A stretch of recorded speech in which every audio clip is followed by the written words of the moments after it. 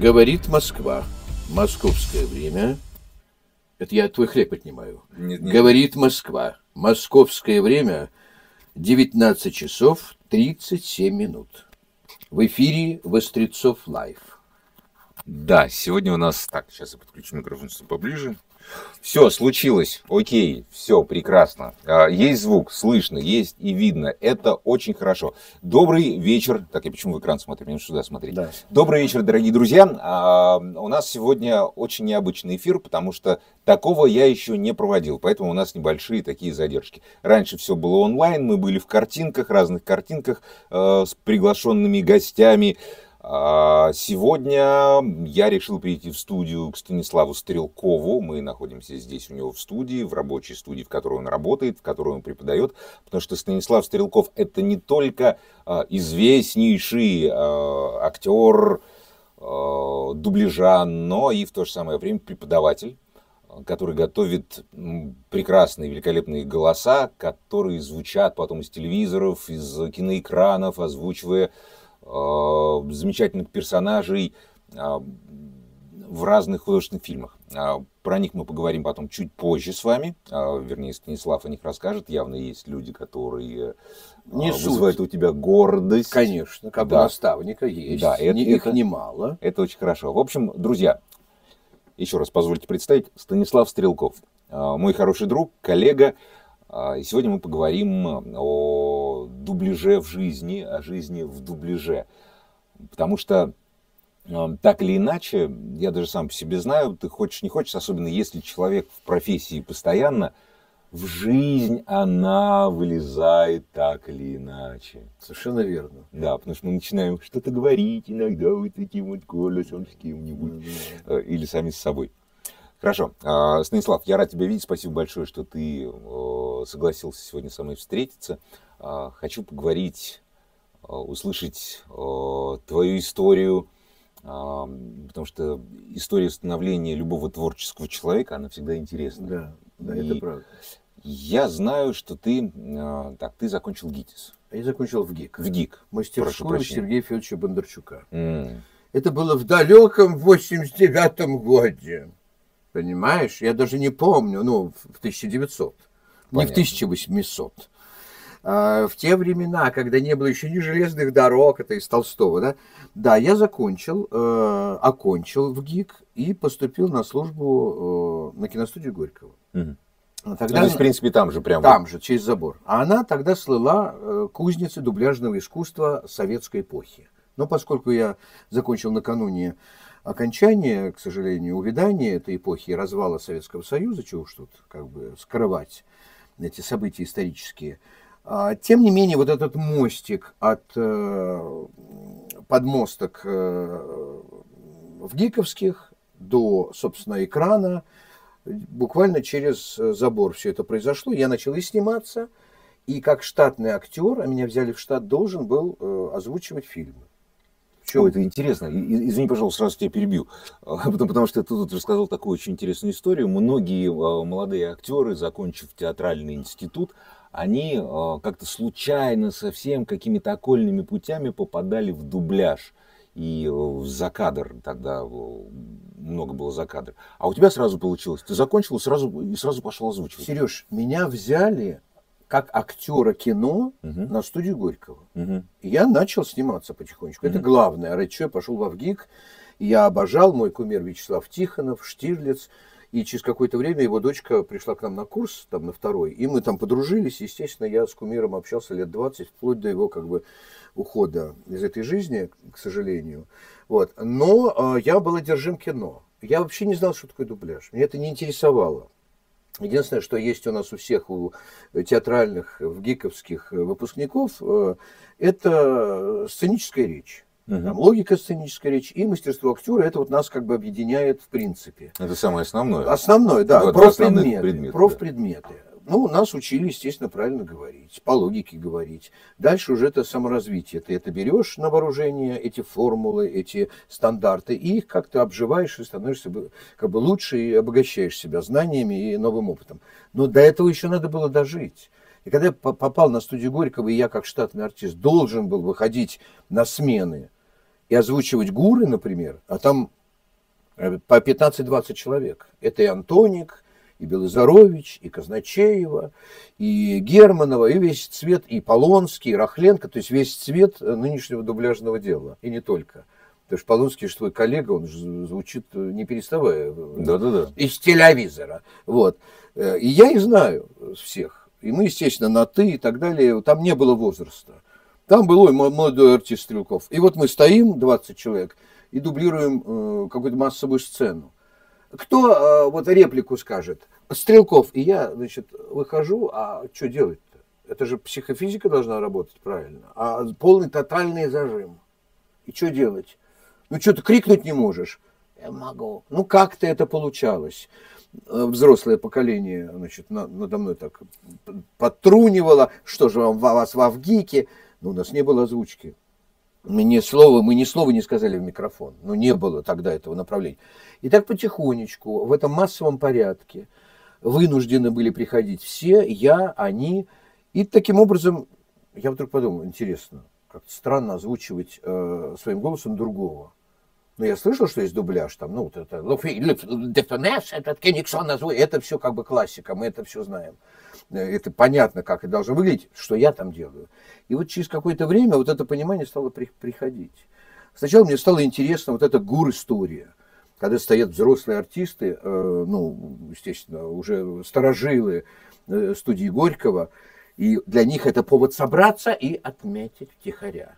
И вот ты стоишь вместе с ними, вот эти волны, э, гурной вот этой вот дорожки наполняешь своим присутствием, потом через какое-то время реплики, от реплик пробы уже на роли, на главные роли. И я так не, даже сам не знаю, как я попал, собственно, в дубляж. А значит, смотри, давай мы э, чуть-чуть остановимся на слове гур. Ты сейчас несколько раз это повторяешь. Да. Мы с тобой знаем, те, кто занимается дубляжом, озвучкой, знают, что такое гур. Но те, кто нас смотрит, не всегда, наверное, понимают, э, что за гур, что, что это такое. Сейчас расскажем. Значит, гур – это озвучивание массовых сцен. Собираются несколько значит, актеров, их приглашают. Среди них назначают главного, кто будет рулить. Потому что через наушники, одни наушники даются, допустим, на там, 15 человек, один человек рулит в наушниках, а остальные ему подчиняются. Ну, как вот э, дирижер э, в оркестре. И есть система условных обозначений. Главное не сорвать дубль, не сказать «смейся», это брак.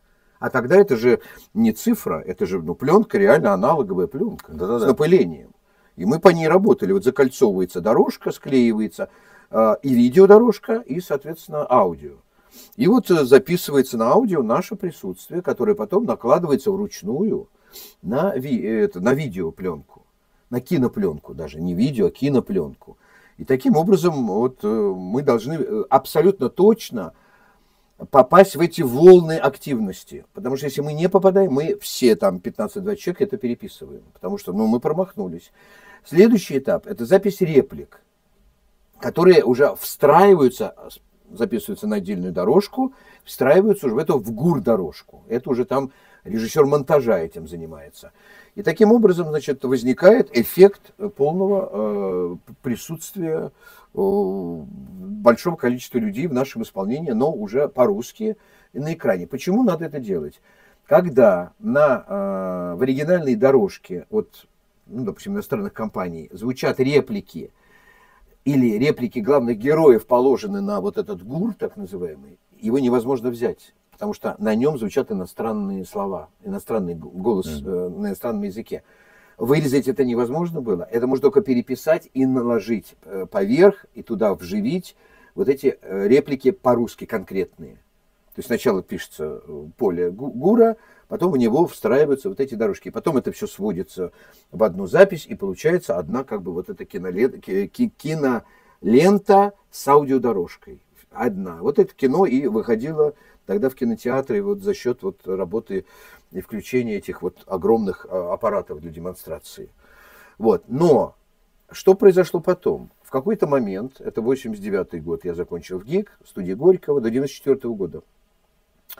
А, стала увидать дубляжная тема, актуальность. А, ну, появились э, после 91 года развала, а все равно еще тенденция была к дубляжному производству на студии Горького.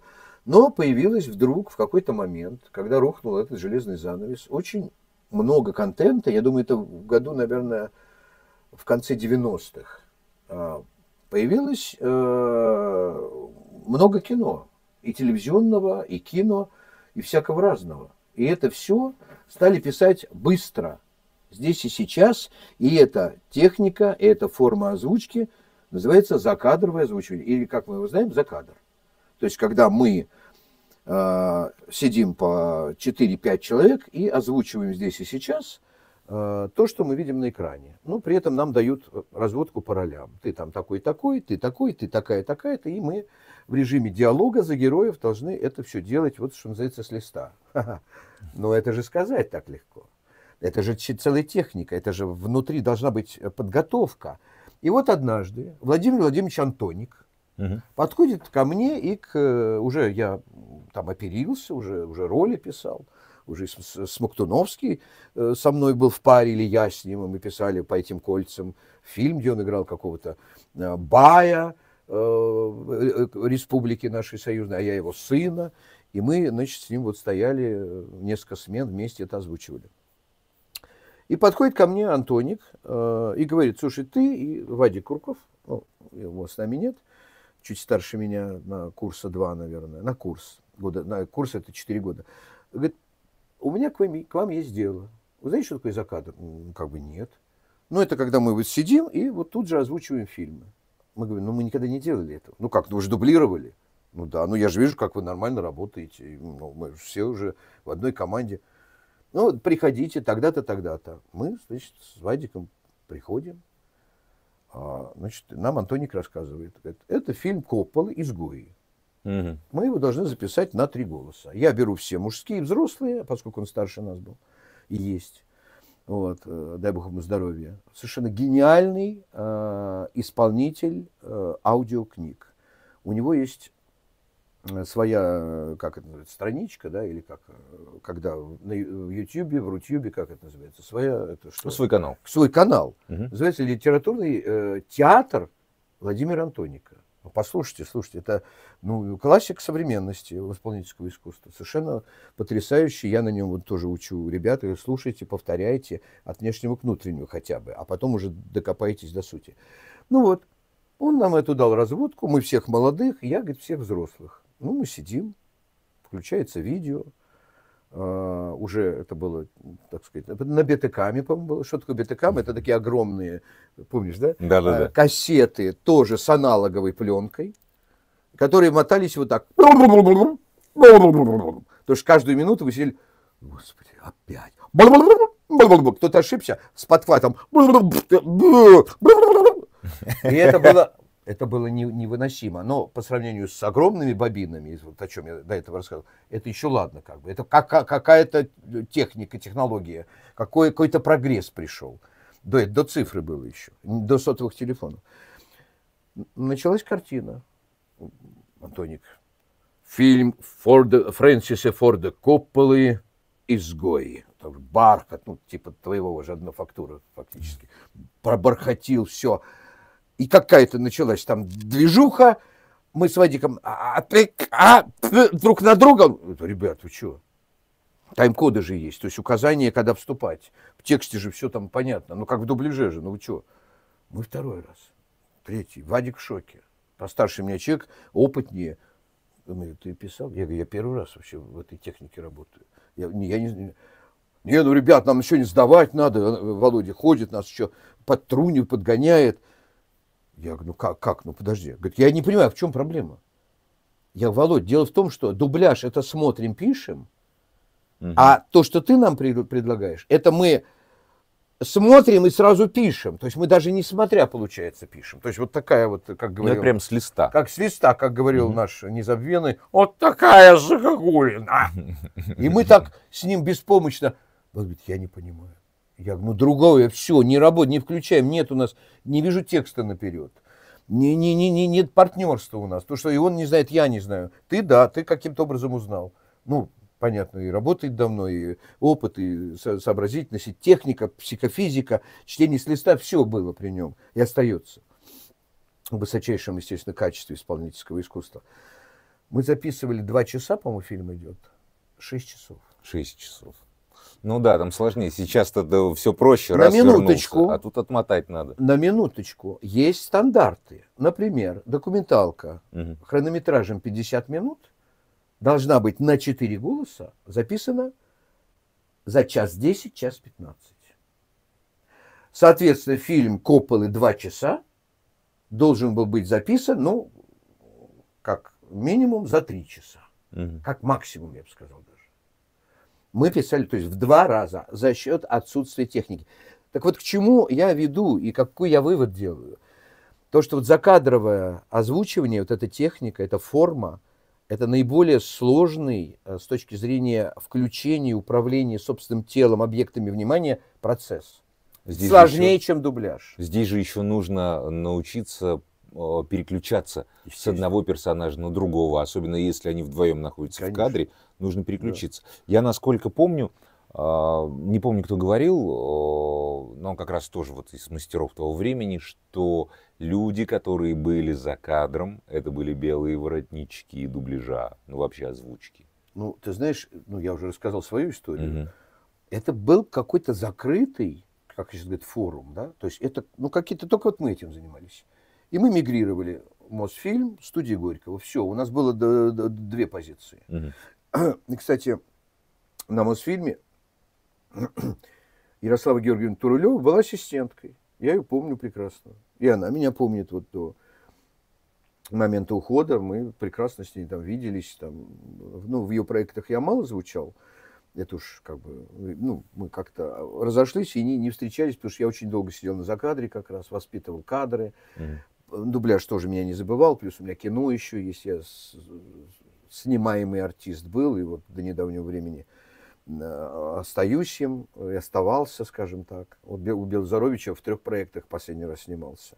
Вот режиссер дубляжа, пожалуйста, стал режиссером художественного кино. 15 лет он меня видел, больше. Ой, Стас, я тебя позову в кино. Ой, я тебя позову. Ну, на дубляж звал. Говорит, Ой, какой, как, как хорошо, ой, какой молодец. А как правильно, как то есть, позову тебя, позову. Я говорю, Лень, ну, ты 15 лет мне говоришь это, сейчас уже как бы больше. Ой, позову, позову. Вот точно, точно, точно позвал. Золото Лагина, прекрасная роль, хоть и отрицательная. А, И там буквально ну, там, на следующий год, там, или там, через год, э, Алекс Лютый, дело Шульца. То же самое отрицательное, совершенно другая роль. И вот недавно «Княжна милосердия» прошла блистательный сериал в его режиссуре. Камерность, точность, вот эти вот линии все выстроены, взаимодействие, характеры, э, жанр. Ну, прекрасная работа. Пожалуйста, вот что дает э, актеру вот, э, развитие. Ну, полное понимание профессии. Да. И актерской, и режиссер дубляжа пошел учиться дальше. И, пожалуйста, и получаются шедевры. У меня есть аналог сейчас. Мой выпускник Александр Зачиняев, э, Щукинское театральное училище, попал ко мне по демке. Мгм. Вы говорите, демки писать кому? Смотря кому. А, Я же говорю, ребят, конкуренцию никто не отменял. Никто вам не... Ой, по демке, приходите на главную роль. Этого не было никогда и не будет никогда. Позовут на эпизод, а, как вот Миша Тихонов, он, он даже моих учил, приходите ко мне на горы. Там он смотрит, что как, раз э, репличку, вторую, третью, и уже у него есть свое собственное мнение, а не путем, там, может быть, вылизанной этой демки. Она же может вылизана. Так ко мне попал Зачиняев. Я получаю демку. «А, Ченишвили 2. Это будет круче, это будет это. Приходит Саша Зачиняев, а вы пока погуглите, там, кто это такой сейчас, и поймете, о чем я рассказываю, куда я веду. Он, я говорю, я буду работать такой, в такой студии, приходи. Мне вот одна студия прислала твою демку, это здорово, приходи. Приходи в другую, я там режиссер дубляжа. Он приходит. Я говорю, ну иди, значит, к микрофону. Он встает и молчит. Я говорю, ну текст говорить ты будешь? А какой? Я говорю, ну вот у тебя текст, тайм-коды. Что? Я, тайм-коды, то есть Мгм. это секундомер экранного времени, а тайм-код это время а, произнесения реплики по вмонтированному этому вот секундомеру. А я говорю, ну как? Ну ты же показал мне это в демке. И в результате я выясняю, значит, какой-то очень э, талантливый звукорежиссер, 21-летнего парня и прочих там молодых, обнадежил. Говорит, мы вам сейчас втянем туда вам это выстроим, и вы будете звучать. Ну, я не знаю, насколько это порядочно, там, но профессионально сделано абсолютно. Но насколько это перспективно, не, не, не до сколько. Потому что он стоит в микрофон, он ничего не может. Там это говорит, не может крикнуть, там, да здравствуй, Таня! Да здравствуй. Ни энергии, ни психофизики, где профессия, непонятно. У микрофона это абсолютно по-другому. Работа в театре, там, на театре, как говорят, да.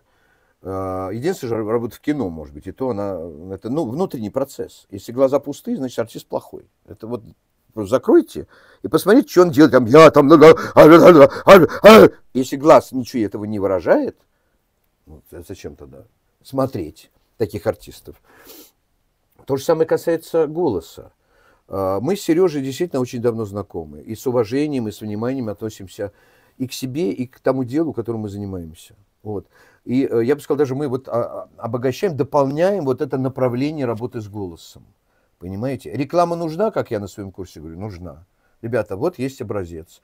Как вот к Антонику отправляют, так я говорю, вот есть Вострецов, пожалуйста, к нему. Почему? А, дело не, не в красоте его голоса, а в той самой технике, которая помогает его голосу выполнять задачи. Это может быть реклама, это может быть драматический какой-то текст какому-то фильму, и я вот сижу, и я не могу оторваться. Это нутро. А, и, кстати говоря, если вот говоря, собственно, голосе Вострецова, поскольку я в гостях, я должен про хозяина говорить дома, что называется. А, вот для меня это все равно, что, смотрите, Игорь Кириллов, который в свое время исполнил а, «Минуту молчания». Это же невоз... это невозможно слушать. Это настолько, это настолько высочайшего уровня драматического искусства. То же самое могу сказать а, и о том, что делает Сережа. Реклама – это тоже произведение искусства. Коротенькая, маленькая, но ее надо сыграть и не показать свой голос, а этим голосом представить рекламу. То же самое тексты сложнейшей совершенно конструкции, логические невероятно. Но это все так как-то умело, как бы легко, как он это замечательно показывает. И в этом профессия тоже. Понимаете? И когда э, вот за кадр хлынул, извини, я не даю тебе сказать, я вот такой гость. Не-не-не, я... Я, я, я тебя слушаю, всем слушателям, даже э, люди пишут, что невозможно. Заткните Стрелкова, пишут. Мастера прервать. Пишут, заткните Стрелкова. Нет, не могу молчать, как Толстой. Позвали, слушайте. Вот, понимаете, то есть здесь, ну, конечно, энергия, конечно, понимание, что я произношу, о чем я говорю, что я.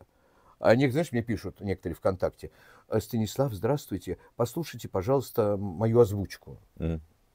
И начинается. А нет, «Э, дорогая, добрый день. Здравствуйте. А вот это, это, а это, а это, это, а прекрасно. А мы сегодня с тобой пойдем? А нет, мы не пойдем. Я пишу, песня замечательная. Мне в ответ, в смысле песня? Ну ты же спел? Ты же снял интонацию английской мелодики, да. а у них все стремится наверх. Послушайте, как они говорят. У них точек нет. Это проблема многих сейчас молодых ребят, которые пытаются что-то делать, озвучить, и они пытаются снимать интонацию оригинального языка. Это неправильно. Неправильно. Вот и результат. Да. А еще э, у, у многих такая проблема, еще Станиславский об этом говорил, не надо любить себя в искусстве.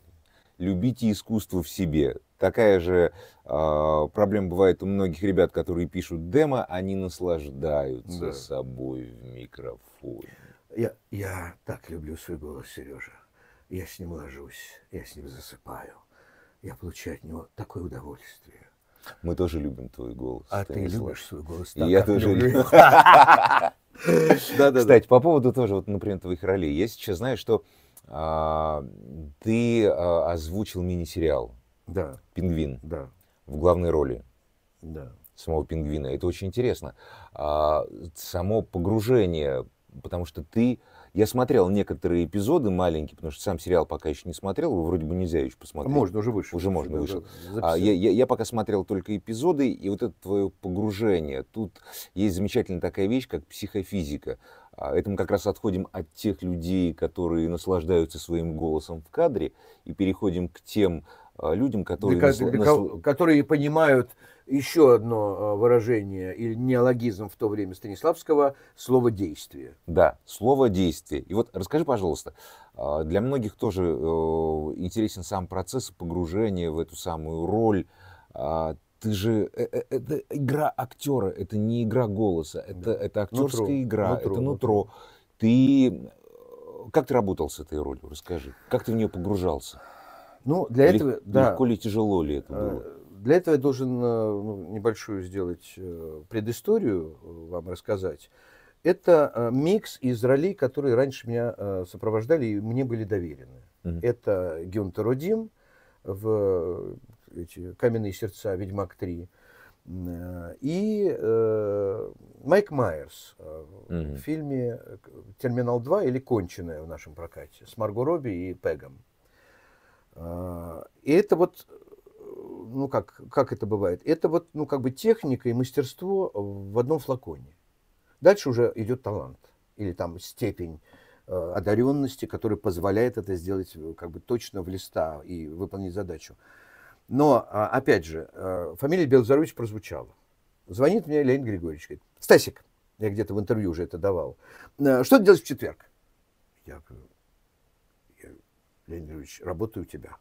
Да, приходи на полтора часа, будет интересно. Все, неделя прошла, я приезжаю, по-моему, Пифагор был, тогда в полном здравии, что называется, и в активности.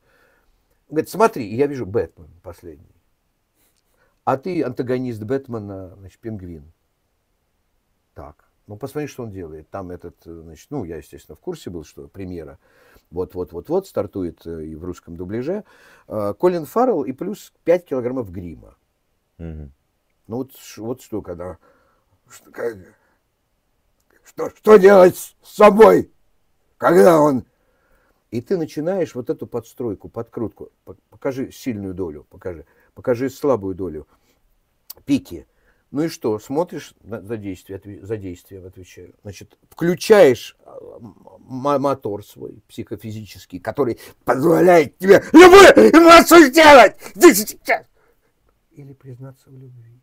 И выключить, переключиться. Вот это пингвин. Вот. И когда ты уже голосовой это подстроил, уже все. Уже дальше не важно. Объем текста, это, это, это уже не важно. Укладка была бы хорошая. А укладка была хорошая.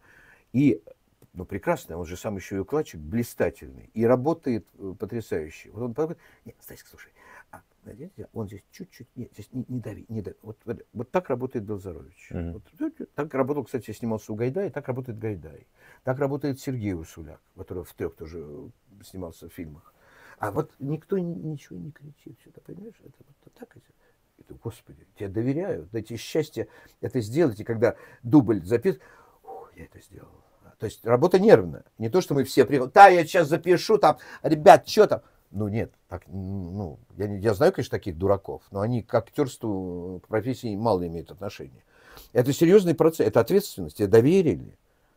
Ну как, тебе доверяют ребенка, там, не знаю, жена, там, кто там, друзья, посиди. Ты ничего не сможешь делать. У тебя ребенок, то покорми, то попои, то это, то то. И это то же самое. Вот роль это ребенок наш. Да, а вот скажи, смотри, а, ты сейчас сказал о том, что приходят, пытаются что-то озвучить и используют голос а, без актерского образования. Ты говоришь, это актерская работа. Да. Как ты относишься к тем а, молодым ребятам, которые вот так пытаются нахрапом взять и без актерского образования и говорят, мне это не надо, у меня прекрасный голос, я смогу? Ответ простой. Я отвечал на него, на этот вопрос э, очень много раз. Значит, можно ли озвучивать фильмы и работать у микрофона без актерской профессии? Слушайте ответ внимательно. Категорически нет. Категорически. Вопрос следующий. А если очень хочется, то можно? Можно. Но если ты знаешь законы этой профессии, законы звучащего слова, основанные на психофизическом э, переключении, тогда может. То есть это чистая актерская профессия. То есть кто знает, тот работает. Диплом, что такое? Ну, много у нас дипломов. Там, и шо? И шо? Это у нас, вот у меня, я горжусь, диплом в ГИКа. Он обеспечен моим качественной моей работой. И это не самопохвала. Но это моя работа. Как я? Я должен знать все нюансы. Я должен уметь все у микрофона. Да, не сразу это дается, не сразу открывается. Но я-то понимаю, что если меня зовут туда, туда, туда, то, ну, как бы мне доверяют. Вот сейчас позвали на компьютерную игру. Не могу сказать, потому что сейчас же подпишется все. Да, да, да. Да, под грифом секретно. Даже не называю где и чего. А, на полтора часа приезжаю. Ну, режиссер, привет, привет. Ну, наконец-то мы вы это вот и садимся писать. А вот посмотрите, а, текста, э, голоса, э, голоса нет, есть черновой. Но голос нужен тот, который э, вы сможете сделать. Я говорю, откуда вы знаете? подсоединяется, как это называется, производитель, да, компьютерных игр, как это называется? Разработчик. Разработчик. Угу. Говорит, Стас, привет, ты меня узнал, это я вот тебя вызвал, мы под тебя написали роль компьютерную. Я в смысле? Ну, внешне не я, внешне не ты, голос твой. Твоя, значит, э, не буду тоже показывать.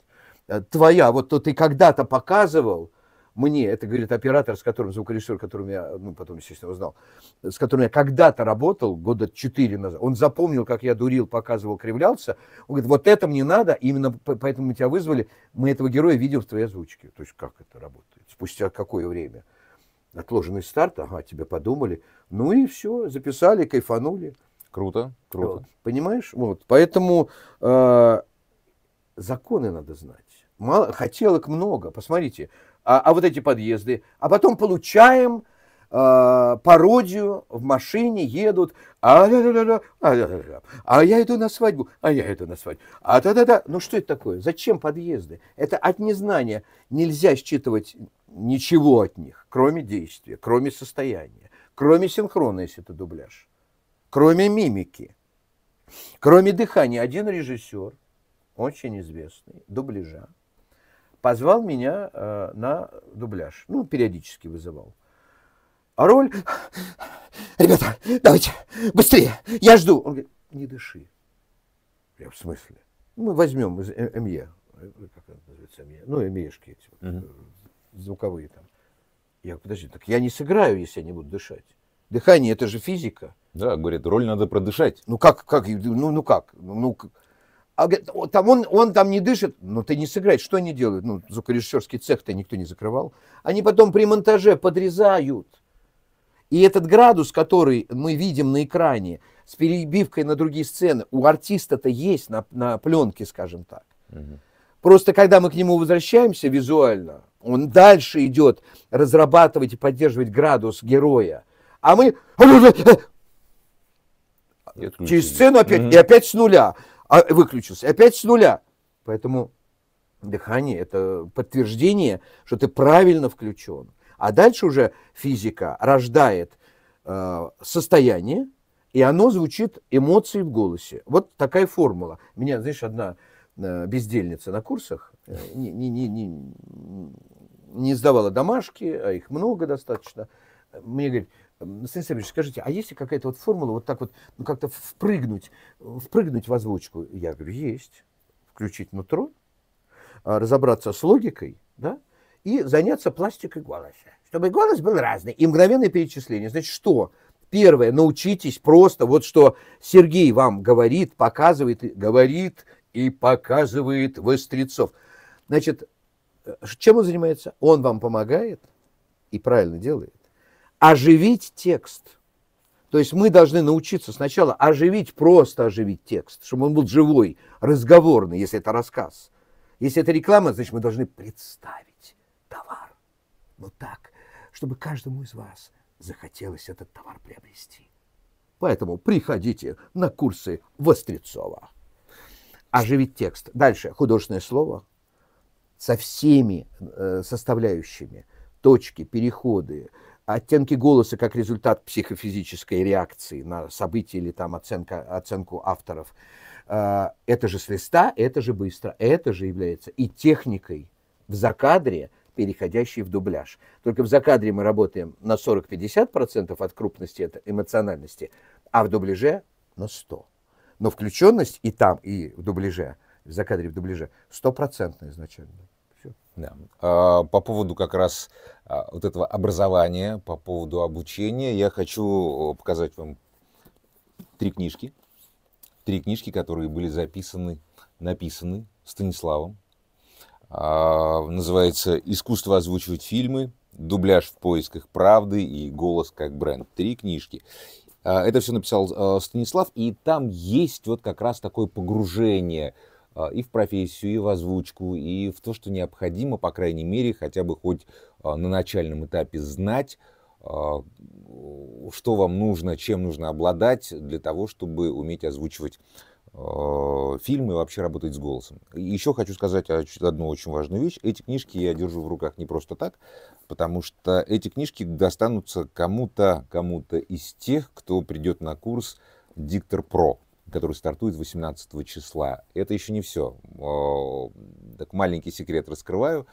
Э, Станислав Стрелков будет одним из экспертов на курсе Диктор Про на э, модуле дубляж. И там поделится своими какими-то секретами, э, расскажет о том, как правильно погружаться в эту самую роль. Ну, это мы отдельно еще поговорим. Да, да, да. Я не буду раскрывать до конца, что же там будет точно. 18 числа стартует курс, это уже следующий понедельник. О, это уже послезавтра.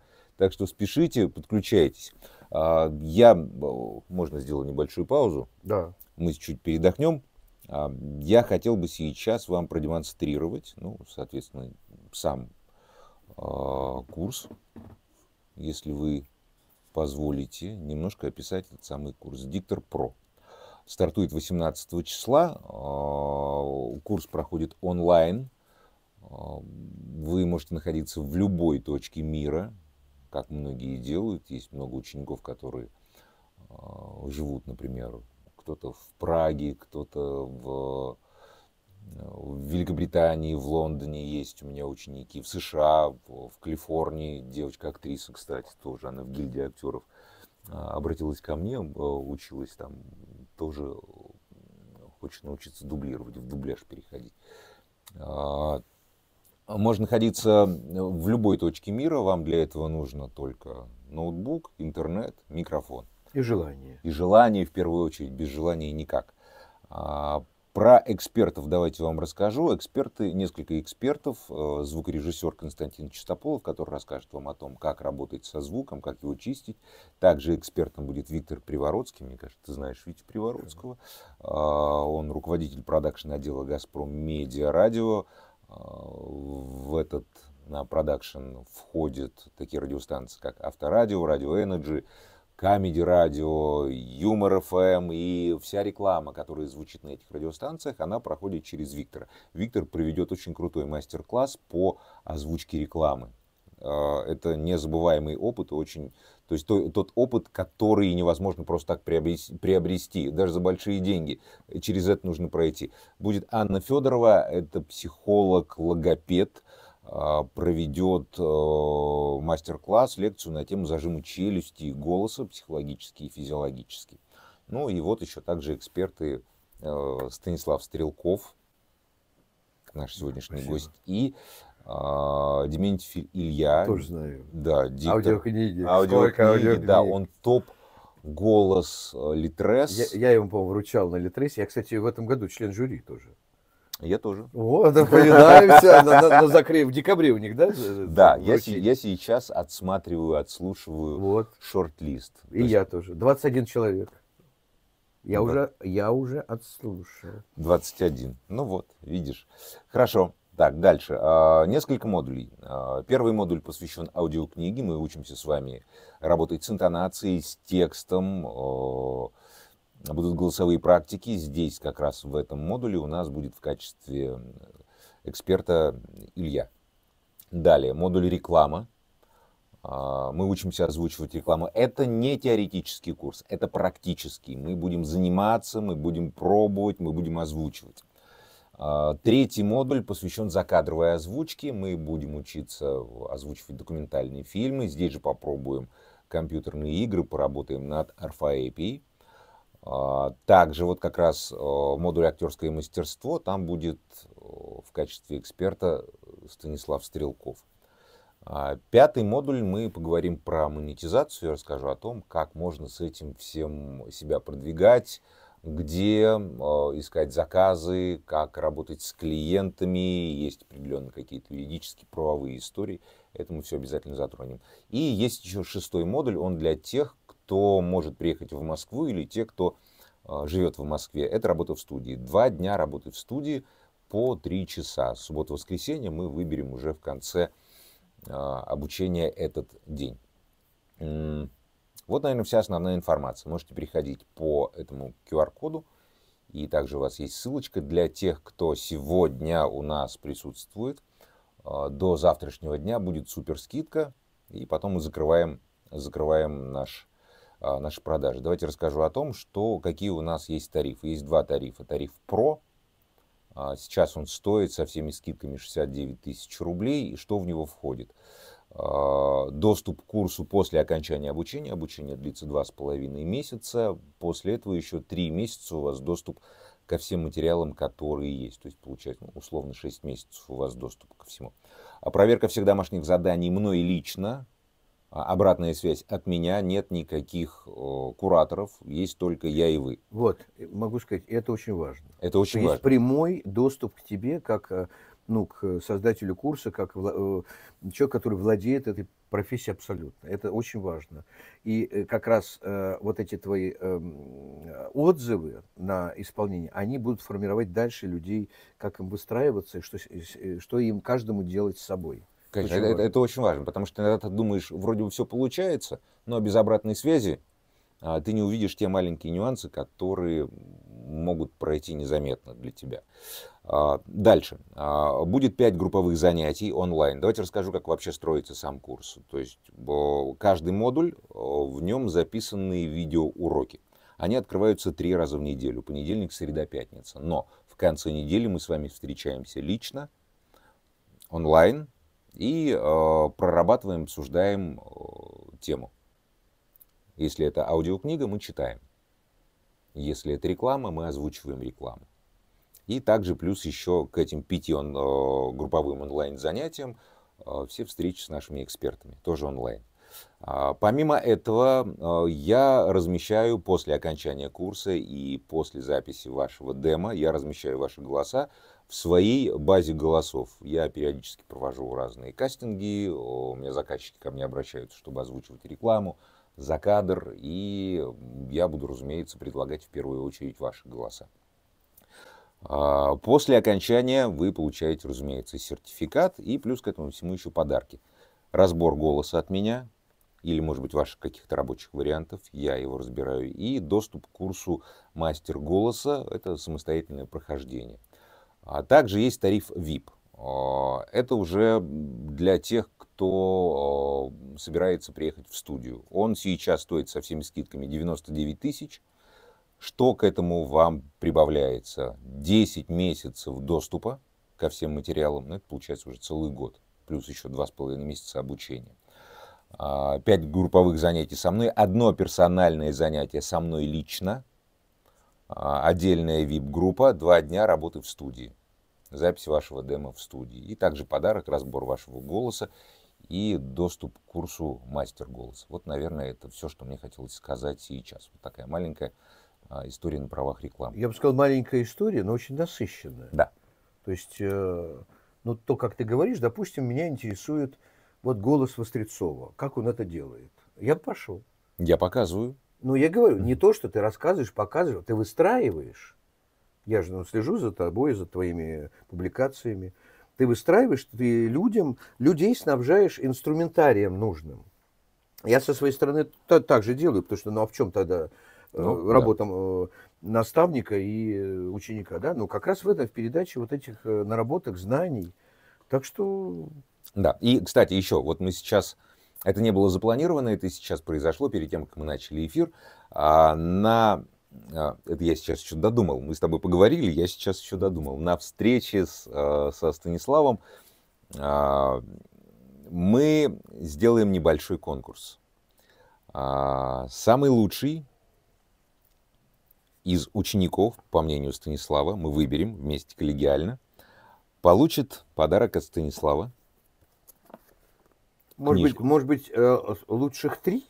Лучших три. Первое да. место, второе, третье. Вот, мы выберем трех человек и э, подарим книжки. Искусство озвучивать фильмы. Дубляж в поисках правды. И голос как бренд. Ну, все, ну, естественно, все, с автографом. Конечно, все книжки будут подписаны для вас лично. Да. Вот. А, хорошо, у нас у нас есть еще несколько минут. Давай, может быть, мы а, ответим на вопросы, которые... Да, пожалуйста. Я видел, там есть. Там есть вопросы. Пожалуйста. Друзья, задавайте вопросы. А, Станислав на них сейчас ответить. Да, кто-то опоздал, спрашивают, будет ли запись эфира. Запись эфира обязательно будет. Там есть небольшие проблемы у нас со связью. А то, что сейчас у нас пишется, то, что идет, э, параллельно записывается, я еще отдельно выложу, вы сможете посмотреть. Да, у нас небольшая задержка, угу. люди пишут не сразу, угу. задают не сразу. А, вопрос, то есть они задали, давайте посмотрим, что тут есть. Вот. Екатерине Лесничий посчастливилось участвовать в ГУРе. Катя, кстати, она живет в Праге. О. Вот, моя ученица. Угу. Так, окей. А, мы, мы пока что ждем. Запись будет, да, еще раз повторюсь. Ну, я могу от себя тут еще кое-что добавить. Mm-hmm. Значит, э, любая деятельность у микрофона, это я для себя вывел, и Сергей подтвердит, это не спонтанное действие. Потому что когда нас э, призывают выполнить какую-то задачу, мы должны понимать, как мы ее должны выполнить, не выбиваясь из рамок этой задачи. Поэтому вот та самая техника, о которой мы говорим, и, собственно, азы мастерства, потом мастерство и, собственно, талант, и уже вдохновение в редком случае, это все дает нам, ну, как бы, основание надеяться, что мы задачу выполним правильно. Значит, всякий раз, когда я иду на озвучку к микрофону, да, не, на компьютерную игру, там, мультфильм или что еще, я немножко все-таки волнуюсь. У тебя есть такое ощущение? Конечно, вот, я волнения? всегда волнение всегда, и меня вот ученики спрашивают, ой, дома вот вы принимаете, все нормально у меня, а я прихожу сюда, ну, как будто вот я теряю. Э, ну, например, э, вот тоже могу чуть-чуть соспойлерить э, кое-какую важную информацию со своего курса. Вы наверняка знаете, что такое документальная картина. Ну, многие разные иностранные, так сказать, компании предлагали нам их в свое время. Ну, они сейчас и есть в доступе. Э, любая документальная программа, она пишется на четыре голоса, то есть на четыре позиции важных. Это рассказчик, ну или диктор, или эксперт, там по-разному ведущий. Это монолог на камеру, исповедь, то есть воспоминание о том, как было тяжело или радостно, например, несколько времени назад, какое-то время назад, когда снималась программа. Это действие героев в кадре, реакция на что-то непосредственно, и титры и надписи. То есть вот это вот, э, этот как бы квартет э, исполнительский, он э, присутствует почти в каждой документальной программе. Чтобы это воспроизвести на один голос, чем мастерство и техника, эти все моменты, их надо проработать. Без этого невозможно отделить рассказчика, который должен быть крупнее по подаче, не путай с громкостью, да? Подача – это энергия в голосе. И шепот может быть крупной подачей. Да? Ну и не говоря уже о присутствии голоса. А, и остальные, вот они также э, выстраиваются, прорабатываются в своем сегменте. И это все создает ощущение а, а, управления. То есть ты знаешь, садишься, приходишь и четко расфасовываешь, как это должно быть уже на записи, э, спустя какое-то тренинговое время.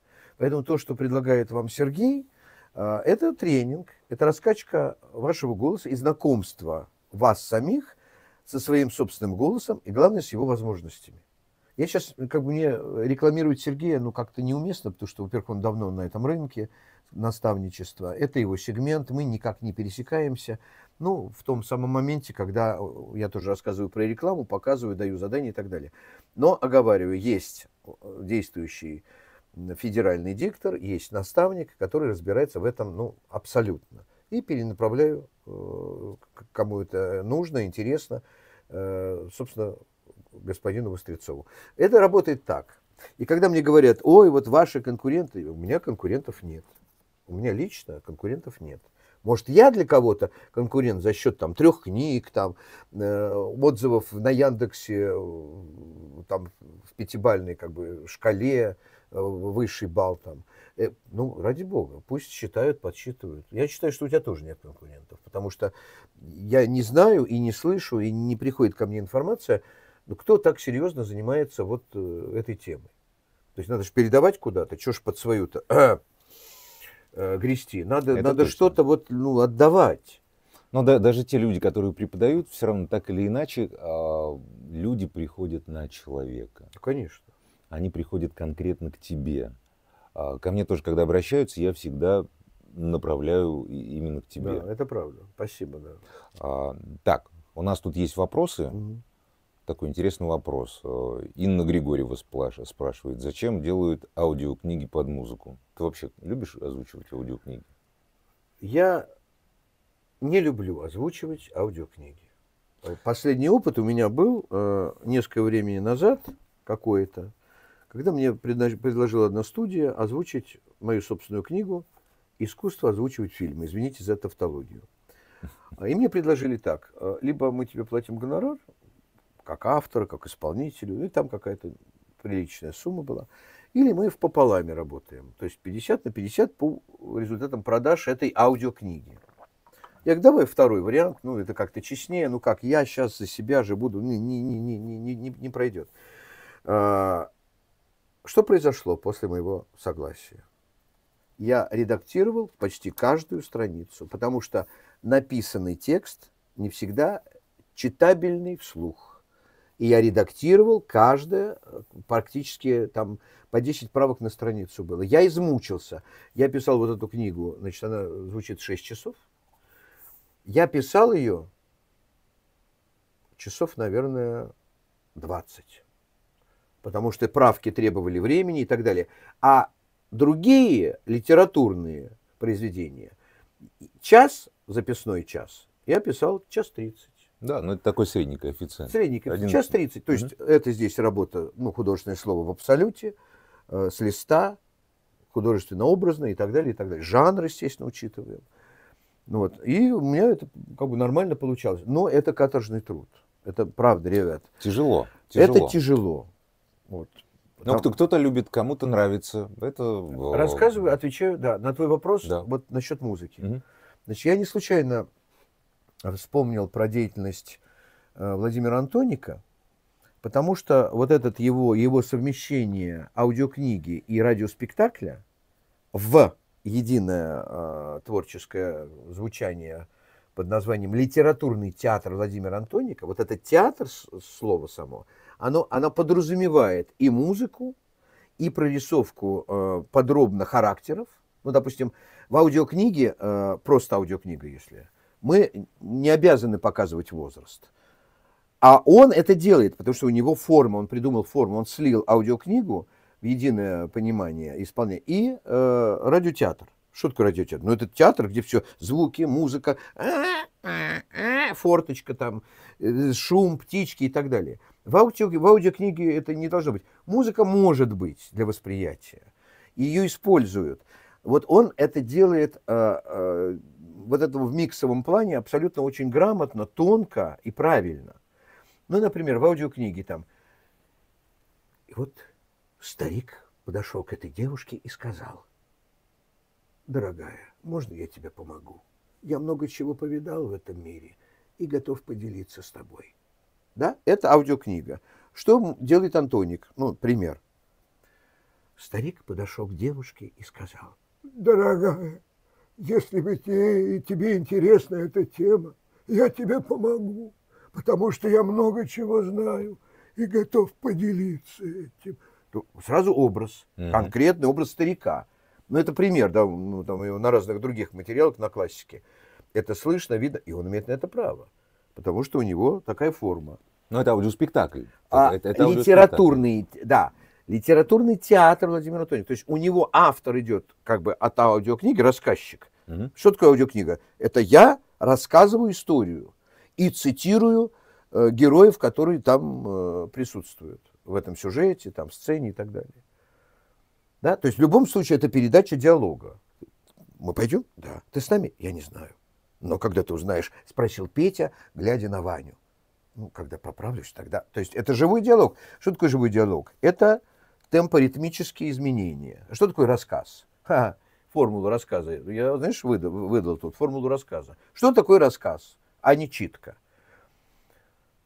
Рассказ – это аритмия всего. То есть аритмия, э, если, допустим, в кардиологии это плохо, да, ну понятно, что-то не в порядке, то здесь разное все. Посмотрите на дорожки, которые, с которыми мы сейчас э, вот соединены в э, аудио, в аудиоформате. А мы же вот так разговариваем. Это и есть э, фактически ну, живое исполнение. Так вот делается аудиокнига. Ну, она так должна звучать. То есть мысль должна живо, э, значит, с учетом разной скорости, разного ритма подаваться. Это разное звучание голоса как отражение разного, э, разных эмоций автора по отношению к героям или в описании чего-то. На вокзале Николаевской железной дороги встретились два приятеля. Один толстый, другой тонкий. Толстый только что пообедал на вокзале. И все начинается вот погружение. Почему? Потому что мы указали место, локацию. На вокзале Николаевской железной. То есть выделили кто? Толстый представили, тонкий. Все. Мы подключаемся к вашему восприятию, и у вас пошли образы. Слушайте, Антоника, слушайте Вострецова. Да, мы, мы, рис, мы рисуем, мы голосом мы, рисуем. Абсолютно. Кто не понимает, а что значит рисуем? Посмотрите, пожалуйста, где-то на Ютьюбе, на Рутюбе, есть ускоренная работа Сергея Андреяки, акварелиста нашего, ну, ушедшего, к сожалению. Как вот он из простого карандашом там наброска превращает лист в живую, собственно, плоть. Арбуз там арбуз, скатерть золотая, золотая скатерть. А все это сделано чем? Акварелью. То есть кисточкой, э, разными красками и водой. Вот то же самое, э, эти оттеночные моменты, они у нас должны присутствовать в голосе. И они присутствуют. Да. Да, да. Продолжим дальше. Вот ты сейчас начал уже немножко э, передавать э, голосом образ. Здесь спрашивают, можете показать одну-две фишки закадровой озвучки? Что ну, нет, я фишки не, не знаю насчет фишек. Я знаю, что э, два на два голоса, э, если один э, актер озвучивает в закадровом варианте весь фильм, соответственно, это ну, то же самое, к рассказу возвращаемся. Угу. Это разное все, только не мы выстраиваем эту разницу, а уже герои, авторы фильма за нас это сделали, нам это надо э, считать правильно и выдать. Если герои, два героя говорят чуть выше, чуть ниже. Если три говорят выше, ниже, выше, ниже, четыре и так далее. Выше, ниже. Пойдем? Да. Ты с нами? Я не знаю. Но с учетом состояния эмоции и скорости говорения, то есть темпа ритма каждого. Один говорит а, быстро и грустно, или наоборот, медленно и грустно, другой радостно и быстро. И мы должны вот техника в чем, переключиться с одного на другой, вот в живом, что называется, э, в живой записи. Потому что мы видим картину, у нас текст, и мы, с учетом того, что мы умеем считывать с листа, мы это все создаем.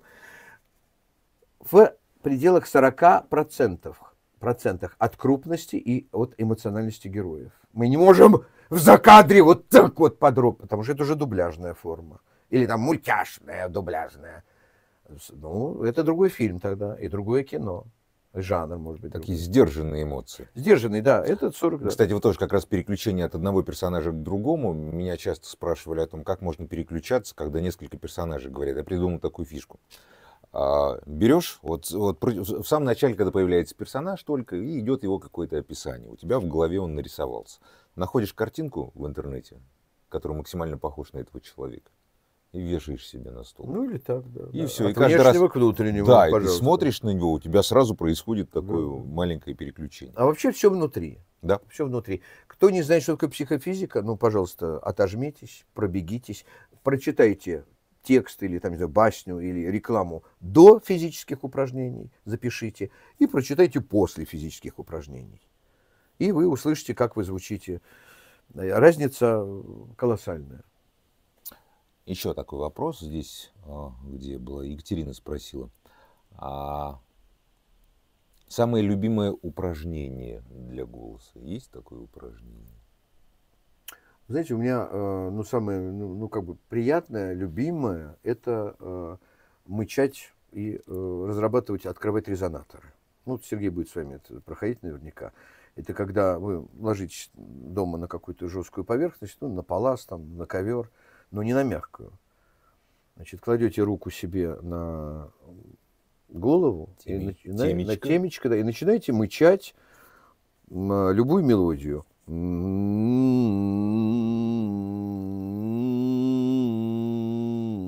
Подвисаете на последней ноте, потом дальше, ниже опускаете,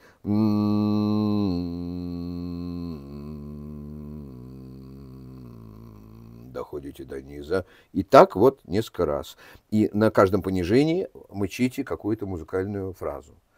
И через какой... Вот уже, видишь, я промычал, Да, у меня уже все, зазвучало. ба Да. А что такое, что такое вообще авертональность? Это разное звучание голоса. Вот в этой камерной подаче мы работаем в аудиокниге, в закадровом озвучении и камерно. Мы рекламу камерно пишем. Мы не можем кричать в рекламе. Head and shoulders! И у зрителя инфаркт миокарда. Вот такой рубец. Понимаешь? Ну ну как камерно. Посмотрите, что делает Сережа. Он как бы обволакивает. Вот любой, любой запись откройте его. Такая пло- плотность происходит. он вас тогда. подводит, а потом уже на вас воздействует. Это законы. Все же в развитии. И в самой кульминации он дает вот эту развязку, и дальше на, на финал уходит. А Так все пьесы, драматургия, так все строится. Так, давайте, друзья, мы сейчас э, на последний вопрос ответим. Мне кажется, интересный вопрос, но не совсем понятный. Инна Григорьева спрашивает, как вы относитесь к синхронной озвучке, которую делают переводчики, как на фестивальных фильмах, так и на официальных мероприятиях? Ну, это ну, такая форма. Так, ну, А от да. них не надо, от игры от них не надо, не требуется. Ну как? Ну, просто чтобы ну, здесь и сейчас было понятно, о чем фильм. Там, например, там португальский, китайский и так далее. Ну, почему нет? Тем более непод- неподготовленный э, человек, с- особенно синхронный перевод, на самом деле это очень тяжелая Сложно, работа. они молодцы. Ну да, они Тяжелая не актеры, работа. не исполнители. Они не заставят вас сопереживать. Но суть вы поймете и сами начнете помогать себе в этом сопереживании. Это профессия отдельная. Да. У нас переводчик к фильмам, не знаю, так, к программам, это вот текст отредактированный, со всеми там, значит, ударениями непонятными, с числительными расшифрованными. Потому что беда, э, не склоняют числительные, Нет. правильно. Нет чего. 1895 э, роз. Да ладно, говорят, от 800. Да. У меня прям уши сразу. Причем на федеральных каналах говорят. Ты федеральный диктор, скажи им там. Это От неприлично. 800. Да. 800, 300, 600. Доволен чем? От 800. 800. Мгм. Доволен чем? Чем? Одной тысячей, восьмьюстами, двадцатью семью. То есть все склоняется. Склоняется, да. И тоже большая проблема, э, не только числительный, там, килограмм, Да. Килограммов говорят. А это неправильно. А, наоборот. давай, да, да, да. Наоборот. Килограмм, да, Там килограмм. один килограмм, два килограмма, 10 килограмм. Да, килограммов, да, правильно, правильно. Правильно, Это я, килограмм. я с числительными подвис. Окей, хорошо, друзья. а, Всем большое спасибо, что были сегодня с нами. Я безумно рад, горд, а, потому что я знаком и дружу с Станиславом. Я очень рад, что ты согласился встретиться со мной и поделиться своим, ну, вот чуть-чуть совсем маленьким-маленьким э, опытом. Ну, не, я не имею в виду твоим... Ну, применительно к нашей встрече. Применительно к нашей Да. встрече. Огромнейший опыт у Станислава. Еще раз скажу, что а, на курсе Диктор Про, который стартует уже в этот понедельник, Станислав будет в качестве эксперта и поделится своими уже, уже более глубокими знаниями, познаниями а, в работе э, с дубляжа. Вот, так что Но не в этот понедельник, а там Нет, нет, через нет, какое-то нет, время. Это как Да, раз да, да. в модуле актерское мастерство. Рад буду вас видеть и ответить на ваши вопросы. Готовьте заранее, товарищи, потому что я, мы можем говорить долго, красиво и по делу. И вы вот будете э, слушать, а э, про вопрос забудете. Друзья, спасибо, что сегодня в этот замечательный субботний вечер э, были с нами. Я оставлю все это в записи, вы сможете пересмотреть. И жду на курсе.